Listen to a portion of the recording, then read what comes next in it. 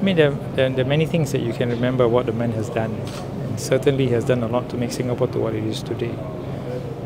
I, I suppose if you ask me, uh, the one thing that comes to my mind is a certain way of life, a certain way in which we organize ourselves as a society based on the two principles of meritocracy and multiracialism. He believes in that. And I think he went out his way to make sure that those two principles are applied equally to all communities. And for me in particular, it was important for the Malay community that he saw fit to make sure that the Malay community is ready to be a part of the Singaporean family by adhering to those two principles and applying it fairly and, and squarely.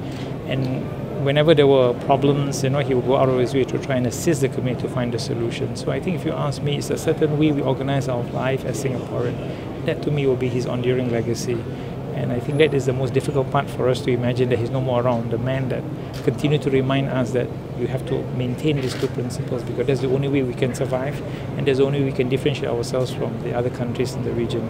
I think that's important for me because without that we wouldn't be where we are today. So that I think is a sense of loss. And I hope that we can reflect back on those two key principles and how we can continue to ensure that we maintain those two principles because that is the two principles that have made us where we are today and then those are the two principles that we continue to maintain in the years to come because that's how Singapore survives and how we can continue to survive uh, in the face of the challenges that we face in the future. Yeah. How do you think Singaporeans can best remember him and how do you think he wants to be best remembered? I think just to make sure that Singapore continues to survive as the way it is basically, you know he had enough gumption in his guts, in his belly to find the solutions, the difficult solutions, because he wanted to make sure that Singapore survived. I think the very idea of Singapore is important to him, and I think we can remember him by making sure that the idea continues to flourish, not only in this generation, but for the generations to come. Because without that, we will not exist, you know, because I think that's what we are left with. Is that he made a country out of an island. I mean, it's an impossible dream, but he made it. But he made it with a lot of hard work, a lot of tenacity, and I think the most important thing with the conviction to take a very long-term view. You know, and it's sometimes when I think about some of the things that we hear being discussed on the internet, it is a sad day if we just ignore all the lessons that we have learned um, from the man and his experience. You know, if we do that, I think it will be a folly for all of us. Basically, you know, we have to continue that story. We have to continue the experiment because that's what it's all about. If not, we have nowhere else to go. I mean, you know, Singapore has no margin of error. He knew that. He understood that very, very well, basically. He personified that. And therefore, he didn't make any excuses about the things that we, he needed to do to make sure that Singapore survived.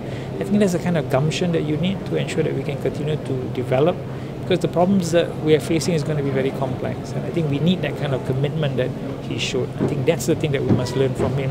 And we have to keep that alive, to me, especially for the younger generation, because without that, it's going to be a difficult journey for us ahead your most favorite personal story? Ah, you know, I've known him for many years in cabinet. Mr. Lee is one person who can change his mind if you're able to convince him. He's a rational person. I'll be honest, I have many debates about him with him about Islam and Muslims in Singapore. Many occasions he will call me in the middle of the night to clarify something on Muslim and Muslim. And I would discuss with him, debate with him. And sometimes he would change his point of view. And I think that's the mark of the man. He's not rigid. He understands what needs to be done, and if he understands that the other point of view is better, he's prepared to cede the ground. Then I think is is the quality of the man. So he's not a, a demagogue. He's not an extremist. Not a fundamentalist. He's a practical person. He just wants to find the best solution for Singapore. That I find is amazing, and it's easy to talk to him.